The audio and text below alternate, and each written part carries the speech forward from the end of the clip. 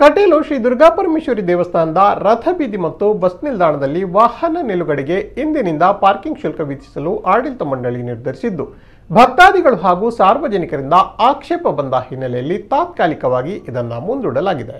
ದೇವಸ್ಥಾನ ಆಡಳಿತ ಮಂಡಳಿಯು ಹೈಕೋರ್ಟ್ನ ರಿಟ್ ಪಿಟಿಷನ್ನಂತೆ ಧಾರ್ಮಿಕ ದತ್ತಿ ಇಲಾಖೆ ಸುತ್ತೋಲೆ ಎರಡು ಸಾವಿರದ ಇಪ್ಪತ್ತೆರಡರ ಜನವರಿ ಎರಡರ ಮೇರೆಗೆ ರಥಬೀದಿ ಮತ್ತು ಬಸ್ ನಿಲ್ದಾಣದಲ್ಲಿ ಪಾರ್ಕಿಂಗ್ ಶುಲ್ಕ ವಿಧಿಸಲು ನಿರ್ಧರಿಸಲಾಗಿತ್ತು. ಇದಕ್ಕೆ ಭಕ್ತಾದಿಗಳಿಂದ ತೀವ್ರ ಆಕ್ಷೇಪ ವ್ಯಕ್ತವಾಗಿದ್ದು, ಸಾಮಾಜಿಕ ಜಾಲತಾಣದಲ್ಲಿ ಅಭಿಯಾನವೇ ನಡೆದಿತ್ತು. ಈಗ ಪಾರ್ಕಿಂಗ್ ಮೀಸಲಿರಿಸಿದ ಬಹುತೇಕ ಜಾಗ ಬ್ರಹ್ಮಕಲಶೋತ್ಸವದ ಸಂದರ್ಭ. ಭಕ್ತಾದಿಗಳಿಂದ ಭೂದಾನ ಮೂಲಕ ಪಡೆದ ಜಾಗವಾಗಿದೆ. ದೇವಸ್ಥಾನಕ್ಕೆ ಆಗಮಿಸುವ ಭಕ್ತಾದಿಗಳು ಸೇವೆಗಳನ್ನು ಸಲ್ಲಿಸುತ್ತಿದ್ದಾರೆ ಇದರ ಮಧ್ಯೆ ದುಬಾರಿ ಪಾರ್ಕಿಂಗ್ ಶುಲ್ಕ ವಿಧಿಸಿರುವುದು ಸರಿಯಲ್ಲ. ಕೂಡಲೇ ಹಿಂಪಡೆಯಬೇಕು ಎಂಬ ಆಗ್ರಹ ವ್ಯಕ್ತವಾಗಿತ್ತು. ಸಾಮಾಜಿಕ ಜಾಲತಾಣದಲ್ಲೂ ಈ ಬರಹಗಳು ವೈರಲ್ ಆಗಿತ್ತು. ಈ ಕೂಡಲೇ ಸಂಸದ ನಳಿನ್ ಕುಮಾರ್ ಕಟೀಲ್ ಅವರು ಇಂದಿನಿಂದ ಜಾರಿಗೆ ಬರಲಿರುವ ಪಾರ್ಕಿಂಗ್ ಶುಲ್ಕ ತಡೆ ಹಿಡಿಯುವಂತೆ ಸೂಚನೆಯನ್ನು ನೀಡಿದ್ದಾರೆ.